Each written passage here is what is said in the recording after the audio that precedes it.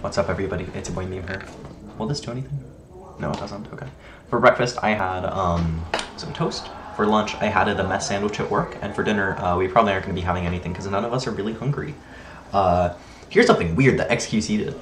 Uh, you know, I've been an XQC fan for like two years now, and uh, you know, which of course most XQC fans have been an XQC fan for like two years. I'm pretty sure, but um, you know, he's been going on this really weird evil arc lately, and um, you know, it's honestly just a little strange. Uh, he didn't show up to this streamer event, which uh, was later revealed because that his ex girlfriend was going to be there, and uh, you know he didn't want that to be awkward, and uh, you know that's totally fine. But also, um, he's totally like he totally streamed like an argument with like his ex girlfriend in front of 150,000 people, and I really feel like um, you shouldn't do that. And uh, not to be some some parasocial person, right? But uh, I don't know. I think maybe it's bad bad optics to uh, stream an argument with your girlfriend um, in front of like 150,000 people, you know, with a live chat. That's kind of weird. Um, yeah, nothing's really happened today. I was practicing earlier with the uh, with the with the iPad.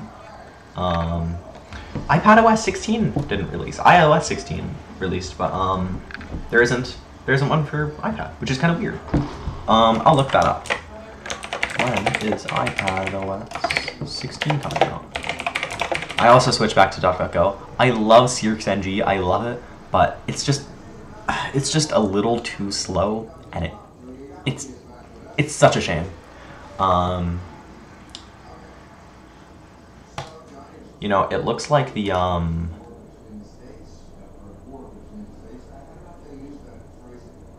Yeah, okay. It looks like iPad OS 16 is coming out uh, in the fall, so who knows?